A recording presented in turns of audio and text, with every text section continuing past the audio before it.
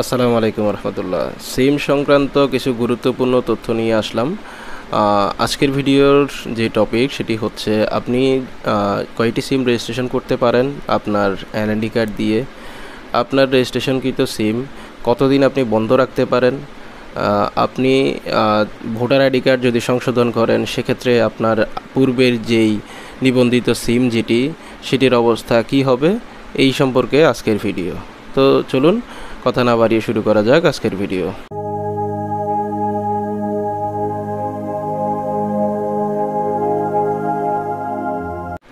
প্রথমত বলে নেওয়া যাক সিম সংক্রান্ত যেই তথ্য, সেটি হচ্ছে আপনি বিটিআরসি তথ্য মতে একজন মানুষ একজন এনআইডি নিবন্ধিত ব্যক্তি, তিনি পনেরোটি সিম নিতে পারে। আপনার নিবন্ধিত যে সিমগুলো আপনি কিনেছেন, সেগুলো আপনি যদি ইউজ না করেন, কতদিন পর্যন্ত বন্ধ ফেলে রাখতে পারবেন? এক্ষেত্রে সঠিক তথ্য হচ্ছে চারশো পঞ্চাশ দিন, অর্থাৎ পনেরো মাস। আপনি পনেরো মাস একটি সিম বন্ধ রেখে রাখতে পারবেন। তবে এক্ষেত্রে একটি উপকারী তথ্য হচ্ছে আপনি যদি কোনো সিম চাচ্ছেন যে বন্ধ রাখবেন, তবে সেটি যাতে মালিকানা পরিবর্তন না হয় পনেরো মাস পরে, কিন্তু সিম কোম্পানিগুলো আপনার সিমের মালিকানা হস্তান্তর করে দিবে এবং এটি পুনরায় তারা সেল করবে।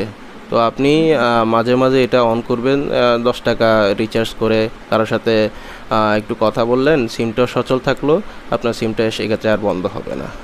বিটিআরসি নিয়ম অনুসারে কোনো ব্যক্তি যদি তার এনআইডি কার্ড সংশোধন করে, সেক্ষেত্রে সে যদি তার পূর্বের এনআইডি দিয়ে কোনো সিম নিবন্ধন করে থাকে, তো পরবর্তীতে সে যদি সিমটা তুলতে যায়, অর্থাৎ আপনার কোনো কারণে সিমটা হারিয়ে গেছে বা নষ্ট হয়ে গেছে, সেটা যদি আপনি তুলতে যান, সেক্ষেত্রে আপনার একটা ঝামেলা পোহাতে হবে, অর্থাৎ আপনার ফিঙ্গার ডিসেবল করে দিবে। তো এটির সমাধান হচ্ছে আপনার পিন নাম্বার সহ একটা এনআইডির পরিচয়পত্র রয়েছে, সেই পরিচয়পত্রটি আপনার প্রয়োজন হবে। এটি ছাড়া আপনি যদি কোনো কারণে আপনার ভোটার আইডি কার্ড সংশোধন করেন, পরবর্তীতে আপনি আপনার সিমটি উঠাতে পারবেন না। ঘুরে দেখবেন আমার ইউটিউব চ্যানেলটি, সেখানে আপনি পিন নাম্বার সহ এনআইডি কার্ড কীভাবে পেতে হয় সেই তথ্য পেয়ে যাবেন। তো এই ছিল আজকের ভিডিও। পরবর্তী কোনো ভিডিওতে আপনাদের সাথে ইনশাল্লাহ দেখা হবে। ততদিন পর্যন্ত আল্লাহ রহমতে সবাই ভালো থাকবেন। আসসালামু আলাইকুম রহমতুল্লাহ।